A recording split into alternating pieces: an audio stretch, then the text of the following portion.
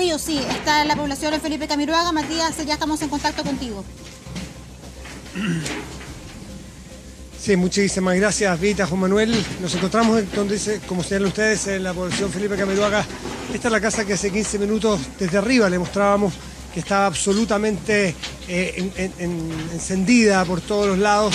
Bueno, ya, ya quedó lo que son los últimos rastrojos de fuego que quedan. Los propios eh, vecinos le, han, eh, echado- le están echando paradas de tierra y los mismos vecinos junto a algunos militares, algunos carabineros removiendo para tratar de ver focos de fuego que queden. Mire, quiero acercarme a uno de los miembros del, de bomberos de